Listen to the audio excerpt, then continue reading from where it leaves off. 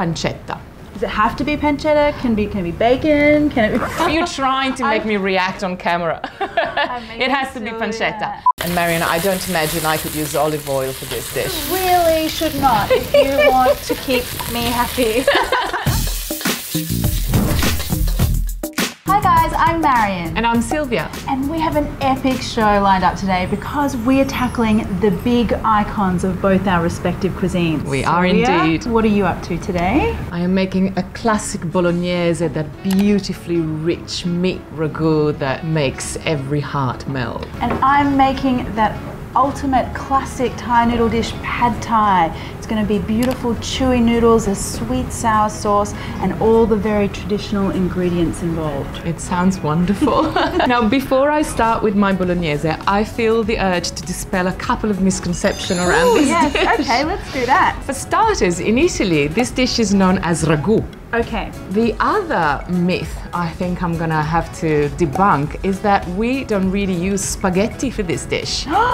the other thing that it needs is a long time cooking. Don't ever think about doing a quick bolognese. Okay, I'm going to start with the usual suspect extra virgin olive oil in a hot pan. are there differences the way people would make this in Italy, or is it supposed Yeah. to be like one, like this? You have to do it this way. Well, it's funny you should ask that because this particular dish has caused so much controversy over the years in Italy that in the 1980s the Chamber of Commerce had to sort of deposit the recipe and it's like oh. heritage listed. Oh, and right. I'm going to add a little bit of thinly sliced pancetta.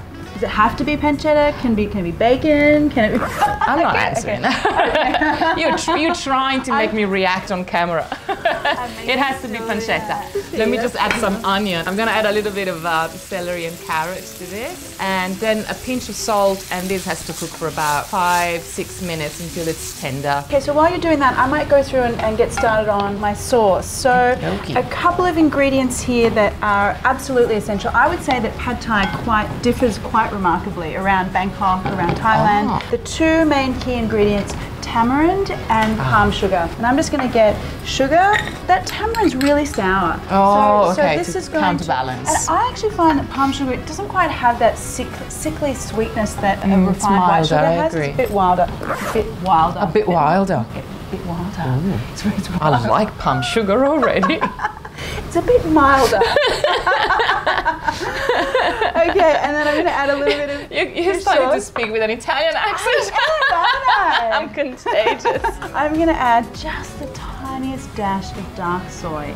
Okay. Because I like the colour. I don't like an, an anemic looking uh, noodle. So I'm just going to let that simmer away until that sugar dissolves. While that's happening, I think it's um, time for me to add the meat, and I've got a mixture of pork and beef mince, uh-huh. and I'm just gonna add it to the carrot, onion, and celery mixture. Not all at once because I don't want it to stew. Look, this is the initial bit of the making of the ragu is where you have to pay a little bit of attention, but then it stews for like four or five hours, and you can go get your nails done. Let's do that. What's happening then? Oh, So- that's almost like a caramel, isn't it? Yeah, so that sugar has dissolved. Is this lovely Syrupy. syrupy sauce. So that doesn't take very long at all. We're just waiting on um, the meat to brown a little bit before we add the wine to the pan. So And I notice it's it's white wine. I think people might be surprised that it's not red wine. I'll be honest with you, I have at times made it with red wine. Fabulous. Either way. More hate mail. More hate mail whichever just one you've got, More it's comments okay. just Just make sure it's good enough to drink, okay? Because I uh, just have a taste. Let me know. Because if it's not good enough to drink, then it's not good enough to use in your sauce. It's pretty good. I think would have been better if we had another glass. I know, right? Thanks for being the taste tester. Oh, you're so welcome. Mm. Anytime. Okay, I'm gonna add the wine now, and I'm gonna let that cook together with the meat and the vegetables until it evaporates, and that will take one or two minutes. You will smell it, and then as the alcohol evaporates, you smell the sweet tones of the grapes, which is what you want in your sauce. See, can you smell it now?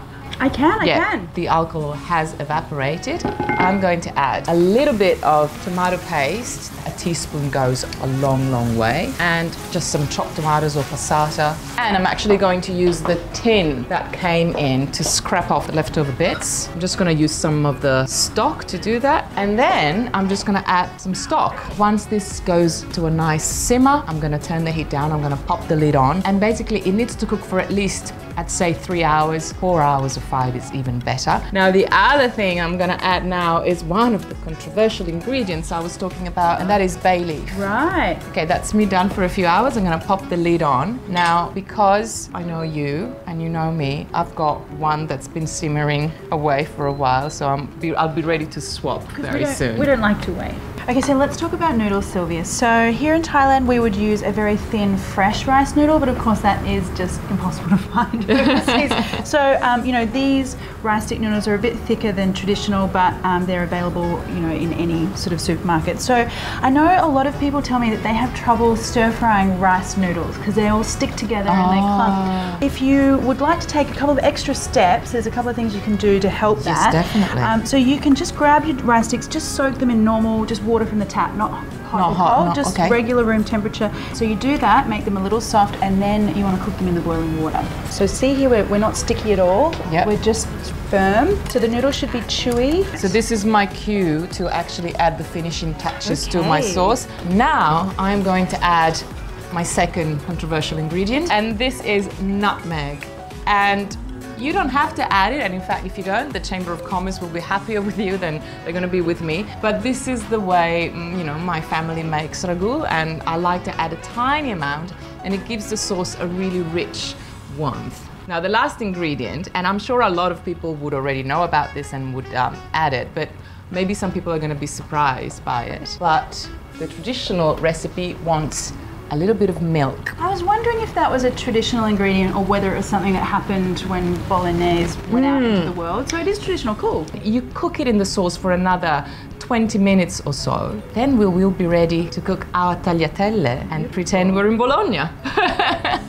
but in the meantime, can we please have some pad thai? Let's pretend we're in Bangkok for a minute then. Okay, okay.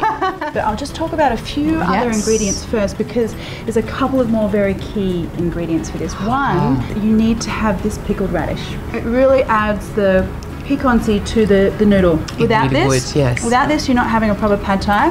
The other thing is Chinese chives or garlic chives. So you can use spring onion. Yeah. Um, but if you really want to make the very classic traditional one, you search these out at your Asian grocer. Now, always with a wok, hot, like super hot, like holy cow, I'm going to burn the house down hot. Like that's how it needs to be. I'll put a little bit of oil in there, a little bit of red shallot.